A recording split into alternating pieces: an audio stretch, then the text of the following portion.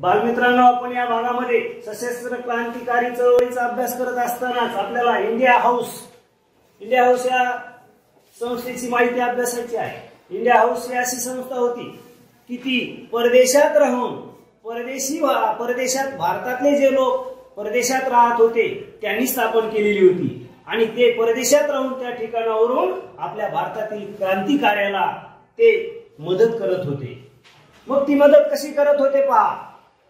तर लंडन येथे या इंडिया हाऊसची प्रथम स्थापना त्या ठिकाणी पंडित श्यामजी कृष्ण वर्मा या भारतीय देशभक्ताने इंग्लंडमध्ये याची स्थापना केली लंडनमध्ये इंडिया हाऊस नावाने.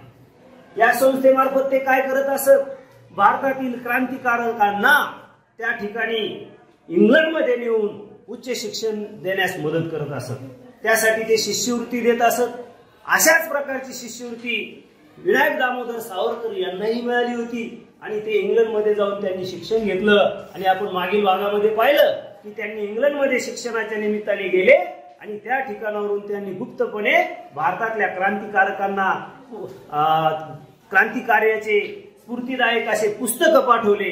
काही पिस्तुलं पाठवले पुस्तकामधून. पा पुस्तकामधून ते पिस्तुलं पाठवत होते. क्रांतिकारकांना उपयोगी यावे म्हणून. म्हणजे अशा प्रकारे इंडिया हाऊस भारतातल्या क्रांतिकार्याला मदत करत असे. स्वातंत्र्यवीर सावरकर आपण पाहिलं की त्यांना अशा प्रकारची शिष्यवृत्ती मिळाली होती. त्यानंतर इंडिया हाऊसशी संबंधित असलेले क्रांतिकार्य करणारी व्यक्ती म्हणजेच मादाम कामा. मादाम कामा ह्या अशा होत्या की त्यांनी जर्मनीमध्ये स्टुटगार्ड या ठिकाणी जगामधल्या सर्व समाजवादी देशांची एक परिषद भरलेली होती. आणि त्या परिषदेमध्ये मादाम कामा यांनी भारताच्या स्वातंत्र्याचा प्रश्न त्या ठिकाणी सर्व ते जगासमोर मांडला. आणि त्याच वेळी त्यांनी त्या ठिकाणी भारताचा ध्वज फडकवण्याचा मानही त्यांनी त्या ठिकाणी अं, त्याच परिषदेमध्ये त्यांनी भारताचा ध्वज फडकवला. म्हणजे अशी व्यक्ती पहा जर्मनीमध्ये ध्वज फडकवणारी व्यक्ती भारताचा ध्वज त्यांनी फडकवला. ती लक्षात ठेवा मादाम कामा यांनी. त्यानंतर इंडिया हाऊसशी संबंधित असणारा क्रांतिकार्य करणारा तरुण परदेशात राहणारा आणि भारतातल्या क्रांतिकार्याला मदत करणारा तरुण म्हणजेच मदनलाल धिंग्रा. याचं नाव सर्वांना माहीत आहे. मदनलाल धिंग्राने काय केलं? तर कर्जन वाईली नावाच्या इंग्रज अधिकाऱ्याला त्या ठिकाणी ठार केलं.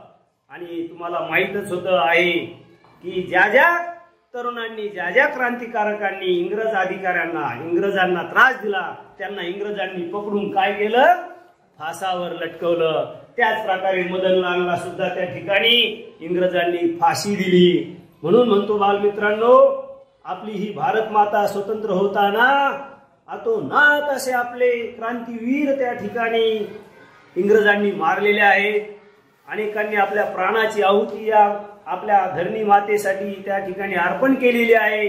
आपण सर्वांनी भारत मातेची इमानदारीने आणि प्रामाणिकपणे सेवा करून या क्रांतिकारकांना त्या ठिकाणी स्मरणात ठेवलं पाहिजे.